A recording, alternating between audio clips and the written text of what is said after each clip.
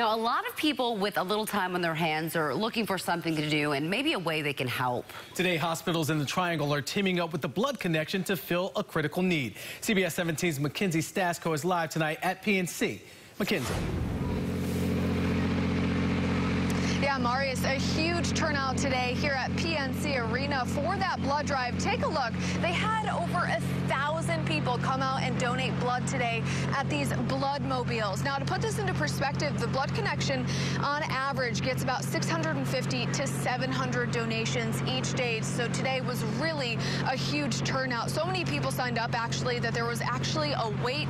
Everyone was required to practice social distancing and stand at least six feet away from each other. Now, the Blood Connection put out a plea for donors after a ton of blood drives got canceled, and this is all to provide hospitals with what they need during this pandemic.